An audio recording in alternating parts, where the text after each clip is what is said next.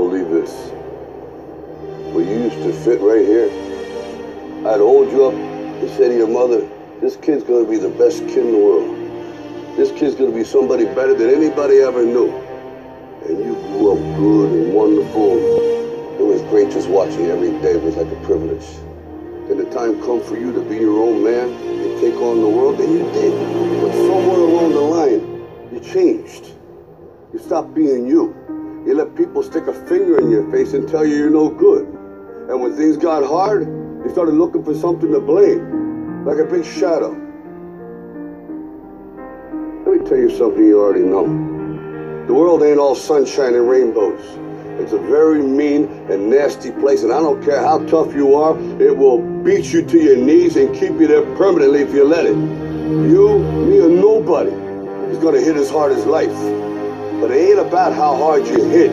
It's about how hard you can get hit and keep moving forward. How much you can take and keep moving forward. That's how winning is done.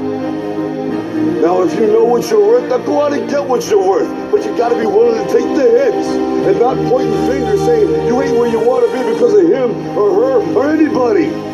Cowards do that, and that ain't you. You're better than that.